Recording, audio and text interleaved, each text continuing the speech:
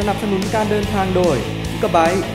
เ e r m a t e c GT Esport l u s a 2 e w a Natural คอแซ u l e r Master a s r o c k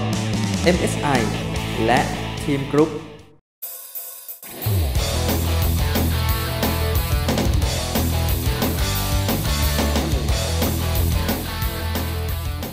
สำหรับบูธโซแท็กในงาน Computex 2016 ครับ นอกจากจะมีส่วนของกราฟิกการ์ด 1080 มาโชว์แล้ว ตอนนี้ผมอยู่กับมินิ PC ครับ ก่อนหน้านี้เราเคยนำเสนอแล้วก็รีวิวไปแล้วกับ C Box หรือว่า Z Box เป็นมินิ PC ขนาดเล็กสำหรับการใช้งานต่างๆนะครับไม่ว่าจะเป็น home theater เล่นเกม หรือว่าใช้งานทั่วๆไปงานเอกสารครับ แต่ตอนนี้เราอยู่กับอีกรูปแบบหนึ่งนะสำหรับเกมเมอร์นั่นเอง ชื่อว่า Magnus EN 980 สำหรับ EN 980 ก็คือชื่อโมเดลของกราฟิกการ์ดนั่นเองครับ GTX 980 ตัวนี้มีความพิเศษยังไงหนึ่งแหละมีขนาดเล็กเป็นมินิ PC gaming ขนาดเล็ก และที่สำคัญครับ ด้านข้างที่เห็นอยู่ที่เป็นอะคริลิกตรงนี้ไม่ใช่เคสอีกรูปแบบหนึ่งนะ แต่ว่าเขาเชื่อมต่ออะคริลิกให้ดู เปิดอะคริลิกให้ดูเพื่อให้เห็นภายในว่า ตัวฮาร์ดแวร์เป็นยังไง แล้วก็ระบายความร้อนยังไง โดยภายในครับ ระบายความร้อนด้วยระบบระบายความร้อนด้วยน้ำเป็นแบบ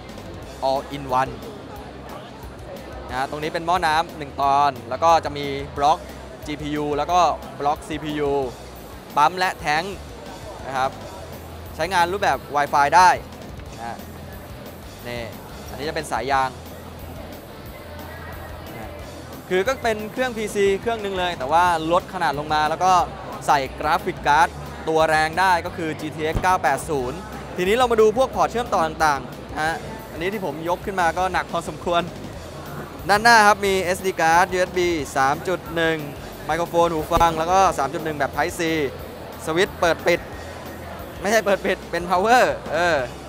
ด้านบนก็จะเป็นช่องระบายอากาศ เป็นแบบรังพึ่งครับ โลโก้ s o t a c ดูด้านหลังดีกว่า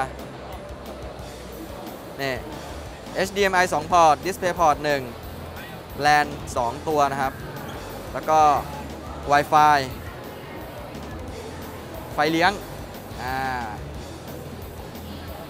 โอเคสำหรับมินิ PC s o t a c ตัวนี้ครับ ก็เหมาะสำหรับคนที่มีพื้นที่ในการใช้งานจำกัด แต่ว่าอยากได้สเปคแรง ๆ สามารถเล่นเกมได้กับ Magnus EN 980 ครับ